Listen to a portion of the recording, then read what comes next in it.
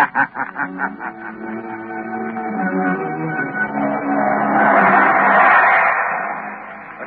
Blue Coal Dealers present radio's strangest adventurer, The Shadow. Mystery man who strikes terror into the very hearts of shopkeepers, lawbreakers, and criminals. Today, Blue Coal brings you The Shadow's latest adventure, The Plot Murder. In just a moment, The Shadow's exciting adventure will begin. Meanwhile, I have something important to tell all you homeowners. During this treacherous winter season, you can protect your family's health by burning blue coal. For blue coal's harmless blue coloring is your guarantee of clean, uniform, healthful heat all winter long. Blue coal saves you money, too, for it burns steadily, completely, down to a fine, powdery ash. So next time you're buying fuel, ask for blue coal by name. It's Pennsylvania's finest anthracite. Order a trial ton from your nearest blue coal dealer tomorrow.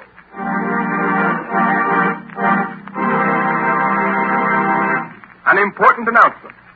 Just before going on the air with today's adventure of the Shadow, we received a telegram from the American Police Review, presenting the Shadow with a special award. Be sure to hear this official presentation at the close of this program.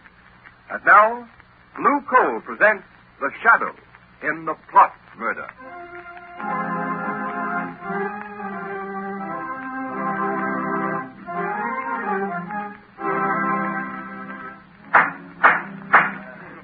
Captain Hines, read the findings of this court martial. We find the accused, Lieutenant John Wilson, guilty of treasonable sabotage against the government. No! In that he willfully destroyed a secret device known as the flying torpedo, invented by one George Archelis and acquired exclusively for use by the government. Has the prisoner anything to say before sentence is pronounced? Yes. Yes, but I- what can he say? He admits he broke the mechanism on the demonstration torpedo. Quiet, please, Professor Arcanis. As the inventor, we understand your concern in this matter. But please don't interrupt. Well, Lieutenant Wilson, I, I, I, I don't know, sir. I, I can hear all that's going on, but I, I went into the. It's obvious, General Levitt, that Lieutenant Wilson is not mentally accountable. he was sufficiently accountable to enter the testing shed by virtue of his authority as an Army lieutenant and to tamper with the flying torpedo and render it useless the very day it was to be demonstrated to the government. Read the sentence of the court. Lieutenant Wilson, this court decides, subject to the approval of the President, that you will be dishonorably discharged from the service of your country and sentenced to imprisonment for the term of life. No! Look out, he's got a revolver! Don't shoot! That's the man, Professor Arcanis! Ah! He's wounded, Professor Arcanis! All oh, the doctor, take Lieutenant Wilson back to his cell.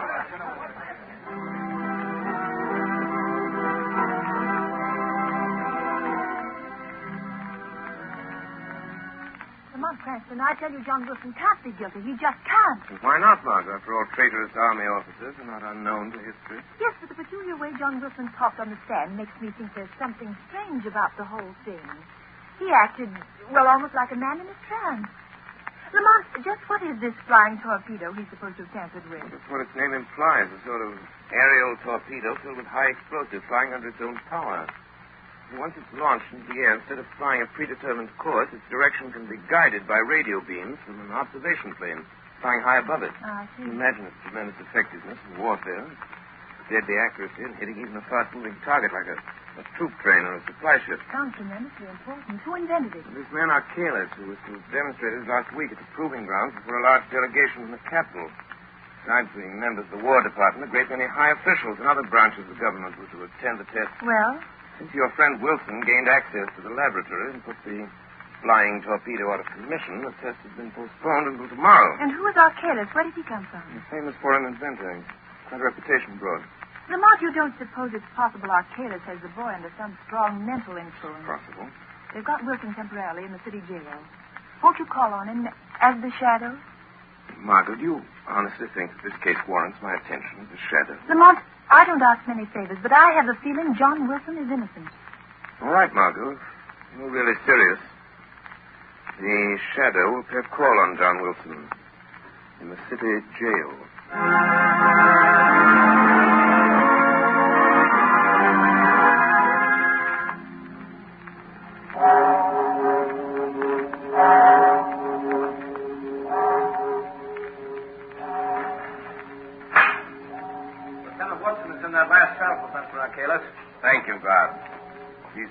That General Levitt gave me. Do you take it or do I keep it? And you better keep it, sir, in case you want to use it again. Yes, that's right. You'll uh, you'll have to talk to Wilson through the bars. Uh, No one's allowed in his cell. thank you. I have no desire to go in. I already have one arm in a sling due to the young man's temper. There's only one or two questions I want to ask him, then I'll leave. Very. Well, who is it? You! Arcanis! Don't get excited, Lieutenant Wilson. I only came to tell you that you're a much better mechanic than a marksman. Your bullet only injured my arm. I'm only sorry I didn't didn't Kill me? The only way you can break the spell I have over you, isn't it? To kill me. Will somebody talk? Look in my eyes. No. Look. No, I won't. John Wilson. Look in my eyes. No. Look in my eyes, Wilson. That's right. Now repeat after me. I destroyed the torpedo. I destroyed the torpedo. Say it. I I destroyed the torpedo. Sabotage against my country. Sabotage against my country. I am guilty. I am guilty. Well, that is all you remember. Are you sure that's all he remembers? Professor Arcalis? Who said that? Guard. You are there? No, not the guard, Professor. He's waiting at the end of the passage. Uh, you hide somewhere. In the next cell, perhaps. No, I'm here. In the shadows, Professor Arcalis. Perhaps you've heard of me. Who are you? The Shadow. The shadow? Help me. Help me. I am your friend, John Wilson. Think now. Concentrate. What is it you're trying to remember? It's that torpedo. Dangerous. I Wilson, keep quiet. Steady now. Think. Think. You can break through this spell. I, I tried to make them understand that. I destroyed the torpedo I because command you to stop. John, your friends believe in you. They're trying to help you. Wilson, what have you committed? sabotage against my country. I am guilty. I am guilty. So, Mr. Shadow, whoever you are, you'll see, You have a powerful spell over the boy, Professor. But there is a way to break it. what way, Shadow? If you don't know, I have no intention of telling you. Yet.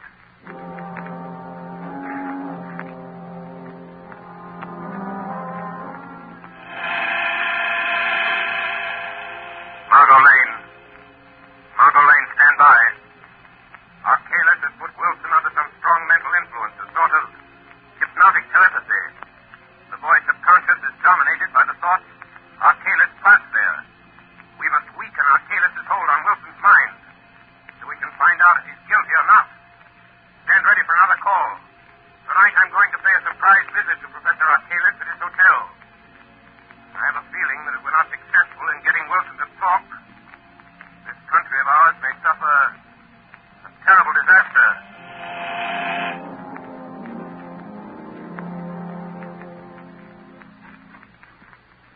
Father, lock the door. All right. Did anyone follow you here to the hotel? No, no one, Professor Arcalis. Good. The test will take place tomorrow? Yes, at three o'clock. The War Department is so convinced your invention will render any nation possessing it invincible that the high command of both the Army and Navy are to be there to witness the test. The president, too? Yes, the President and the Vice President expect to attend, together with the Secretary of War and the Secretary of the Navy. Oh, they've fallen into my trap. They'll be blown off the face of the earth just as I planned. To be sure you make a final inspection before the torpedo is taken out of the grounds. and see that the steering mechanism is set. I understand. But since I am your chief assistant, they might ask me to go along with them. No, they won't. I'll fix that. Their bungling army mechanics think they understand the flying torpedo perfectly. So to satisfy their pride, I've let them take complete charge of the demonstration. Good. Don't worry, Barlow. And afterwards? Afterwards, with the guiding brains of the nation wiped out at a single stroke, the country will be thrown into confusion, disorganized. So we'll have nothing to fear. I see. There are only two things that bother me slightly, though. Lieutenant Wilson, for one. Wilson, did he really discover the secret trick of the steering mechanism? Yes, he knows what we intend to do and how we intend to do it. You should have disposed of him at once. I thought of that. I was afraid it would arouse suspicion. I'm keeping Wilson under mental hypnotic control until it's too late for him to stop us. Wouldn't it be better if he was dead? Perhaps. I can still visit him at the prison. And what is the other thing that bothers you, Professor? Only a shadow, Barlow. But I'm not quite sure of the extent of its power. A shadow? Don't worry. I think I can take care of it, too. Listen. What is it? I thought I heard footsteps outside in the hall. Go and look. There's no one here. All is empty. Uh, must be my nerves. I'll be glad when this is all over. Our escape is taken care of. Yes, the freighter will be waiting for us at South Pier. But go now, Carl. And success to you. Good night, Professor. Good night, Barlow.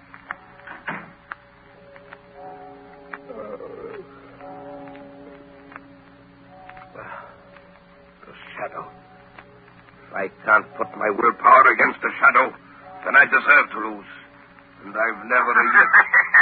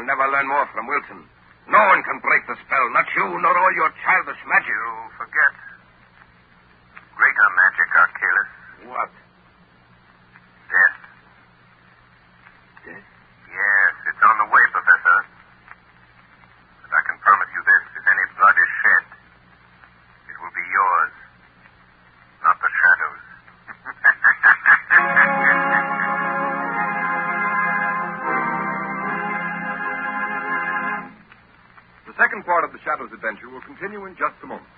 Meanwhile, here's some interesting information. Every day, more and more families throughout this area are saving money on their heating and cooking bills. These families are getting better and more economical heat than ever before with blue coal. Blue coal is anthracite.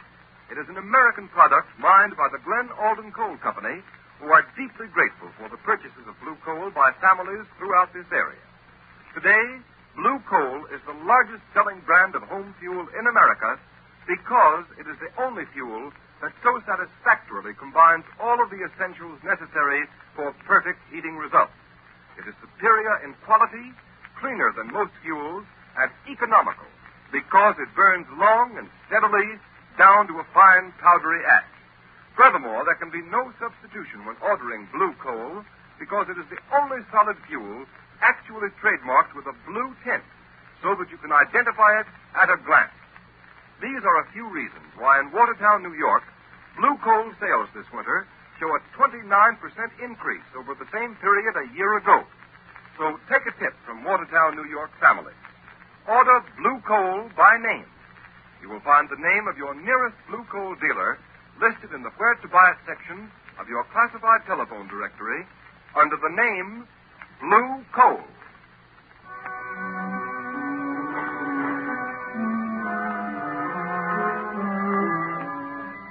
But uh, I, I tell you, General Levitt. Excuse me, Consul. Go right ahead, General. Hello? General Levitt speaking. Oh, yes. Good morning, Captain Hines. That's fine.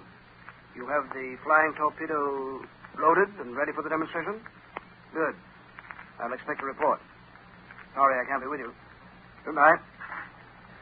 Now, Cranston, to get back to this Lieutenant Wilson. I don't see what I can do. But there may be some desperate plot at the bottom of this. Wilson acts as if he'd been put under some powerful hypnotic spell, he might know something about this flying torpedo that you ought to know. For heaven's sake, Cranston, I haven't time to listen to any such drivel. I know you're a very agreeable young man and you mean well, but you're letting your imagination run away with you. Now, if you don't mind, I must get ready to leave for the capital. Very well. Just do me one favor, General Levitt. Might prove something to you. Well, what is it? Suggest to Professor Arcalis that he be present with the other official visitors at the proving ground. The demonstration starts. Of course, Professor Arcalis will be there. Why shouldn't he be? That's what I'd like to know. Unless I'm very much mistaken, General, Professor Arcalis has made arrangements to be far, far away from the scene of his triumph. Uh, George Cranston, I believe you know something. Uh, excuse me, sir. Yeah, well? There are two gentlemen here to see you, sir. Professor Arcalis and another man. Oh, all right, show them in. General Levitt will see you, sir. Uh, thank you. I'm sorry to interrupt you, General Levitt. That's all right. This is Mr. Cranston, Professor Arcalis, and Mr. Barloff. How do you do? How do you do? If you don't mind, Mr. Cranston, I'd like to speak to General Levitt alone. Not at all. I'm uh, sure you have weighty matters to discuss. Good day, gentlemen. Thanks, Good day. Cranston. Goodbye. Oh, orderly. Yes, General Levitt. Is my luggage ready? Yes, sir. Fine. Then take the next train. Yeah, there's one leaving in 20 minutes. Can you make it? Yes, sir, if I go now, sir. Go ahead, then. I'll close the office. I'll meet you in the capital tomorrow. Yes. Well, what brings you here, Professor? Nice. Oh, uh, sit down, Mr. Barloff. Thank you, sir. Barloff here has just returned from the proving ground, General. He supervised the loading of the torpedo early this morning. Everything was all right, I hope? Perfect. Your army mechanics seem very proud they're going to handle the torpedo by themselves. Of course, we'll be anxious to know how it comes out. Oh, aren't you going to be at the demonstration, Professor Arcalis? I'm afraid not, sir. Another engagement, unfortunately, prevents my attending. Oh, yes, I see. But I can't understand how anything could be more important to you than seeing your own invention demonstrated before the highest officials of our government. I admit I'm terribly disappointed, General. However, I've left instructions for a telephone message to be sent to me at my hotel the minute the demonstration is over. Hmm. Professor, I'm not sure that this test should be made without your being there. What do you mean? Suppose I order you to go. But no, that's impossible. Why impossible, Mr. Barlow? You must excuse Barloff, General Levitt. He is a little excited. Excited. What about? Look here, Professor Arcalis. Why don't you want to go to the proving ground? Must I repeat my previous statement? this stalling and hedging is very suspicious. By George, you'll go whether you want to or not. Don't touch that phone. Barloff, be careful. You can't give me orders in my own office. You hit him too hard, Barloff. His head was bleeding. He struck the desk when he fell. Yeah, drag him in his closet near the door. He knows something, Professor. Yes, the fool suspects something, but how? And we've got to act quickly. I wonder if Lieutenant Wilson has talked. Like you said, he's still under your hypnotic spell. Perhaps it would be better if Lieutenant Wilson died. Yes. We're going to murder him? No, I'll merely suggest that he kill himself. Oh, Barloff, if you'll tie up the general... Professor! Look at him. What? General Levitt is dead.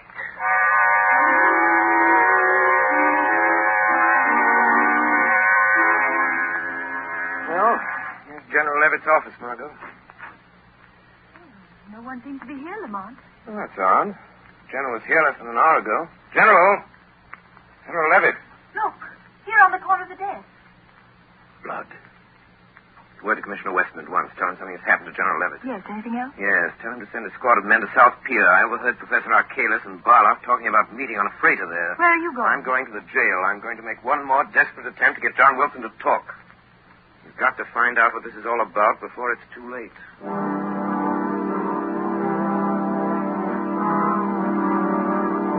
Do You want me to wait here at the jail, Professor Arcalis? No, go down to South Pier, Barloff. I want to be alone with Lieutenant Wilson. I'll follow after I've taken care of him. All right. But first, I'll collect the baggage.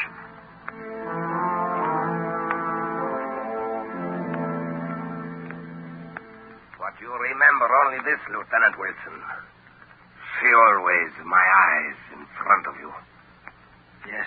You will forever do what I tell you to. Stop. Leave me alone. No, never. Look, Wilson. See what I have? A knife. Here. Take it. Now listen to me. You are disgraced. Your family disgraced. You have nothing more to live for. Say it. I have nothing more to live for. I. I have nothing more to live for. Then draw the knife across your wrists. It's easy.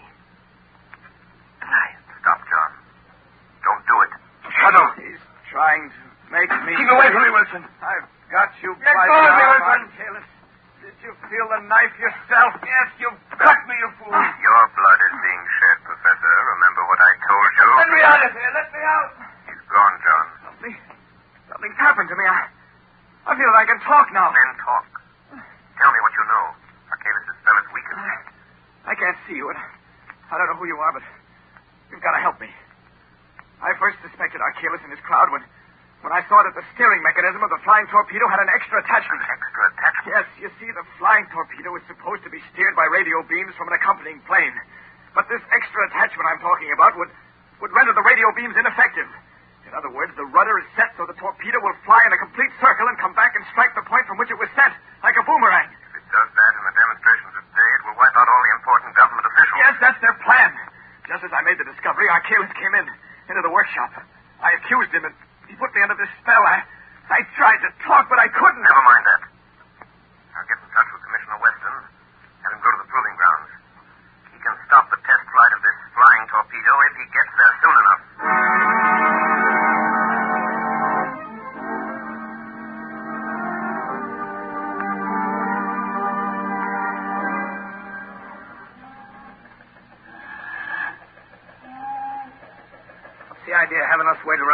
South Pier? There don't seem to be anything stirring. Who are the guys we're supposed to pick up? Uh, two boys for the name of Professor Archelaus and Barloff. Uh, foreigners, huh? Yeah.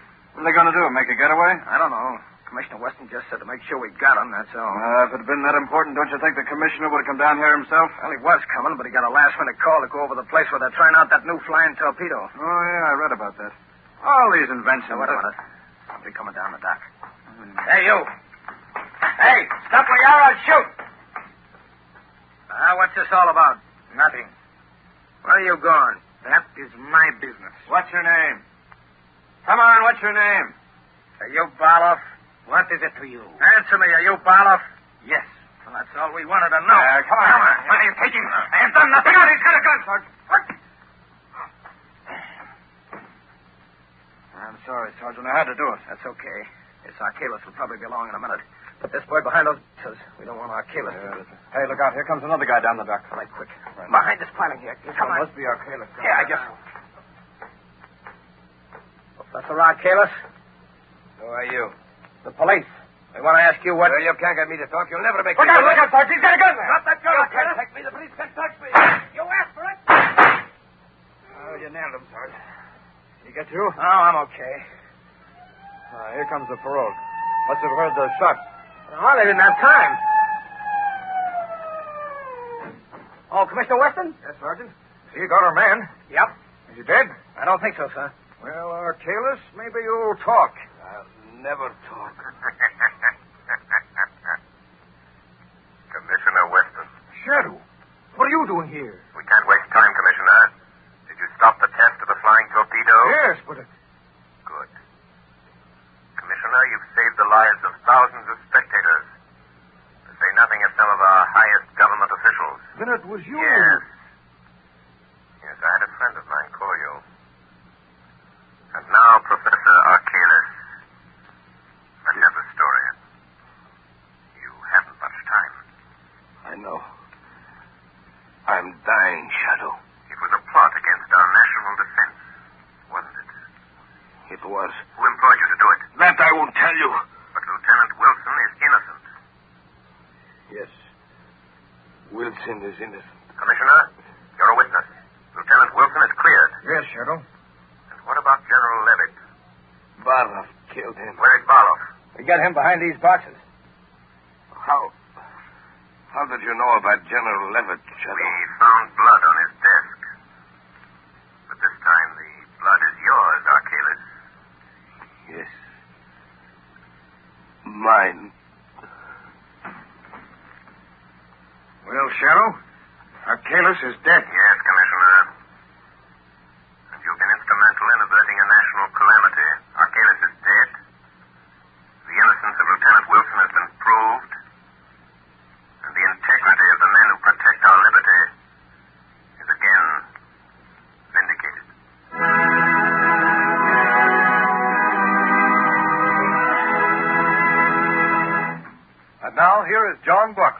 Coal's heating expert, with helpful heating hints for you.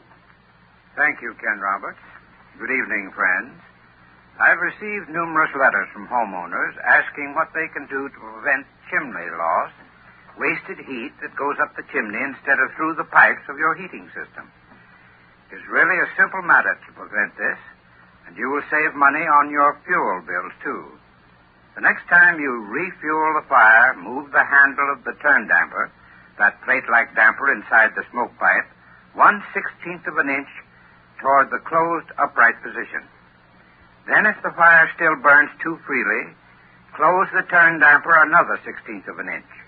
Repeat this operation until you've found the correct adjustment.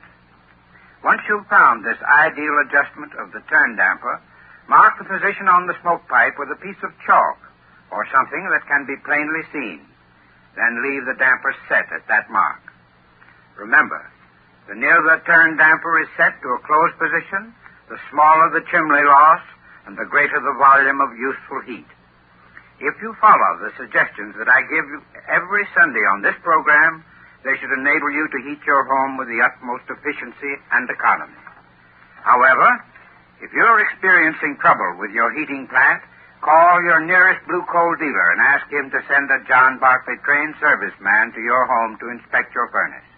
This service is free to all blue coal customers. I thank you. Thank you, Mr. Barclay. And here's the official telegram advising of the award the American Police Review has made to the Shadow program. Quote, the American Police Review salutes the producers and sponsors of the Shadow for their contribution to the cause of better law enforcement. 13,000 police executives throughout the United States read the review. So our purpose is to help them find the best tools and methods to combat crime. The editors of the review have turned a critical ear toward the Shadow program for some time and are gratified to note that your presentation of police roles truly reflects the intelligence and character of the high type of police officer now found throughout the land. We therefore take pleasure in presenting to you the American Police Review Certificate of Award for Distinguished Service to the Cause of Better Law Enforcement. Signed, J. Norval Birch, editor of the American Police Review, Chicago, Illinois.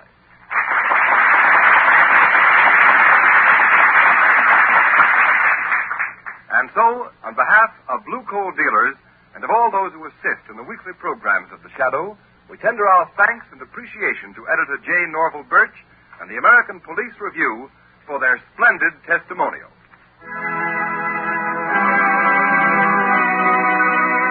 You have just heard a dramatized version of one of the many copyrighted stories which appear in the Shadow magazine. All the characters and all the places named are fictitious. Any similarity to persons living or dead is purely coincidental.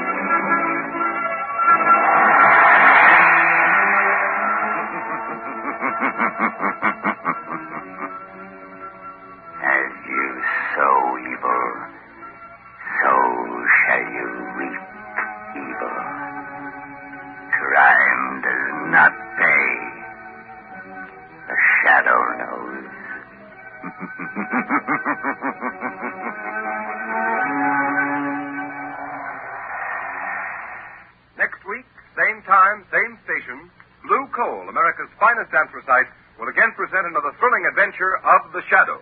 Be sure to listen, and be sure to burn Blue Coal, the solid fuel for solid comfort. This is the Mutual Broadcasting System. The solid fuel for solid comfort. This is the Mutual Broadcasting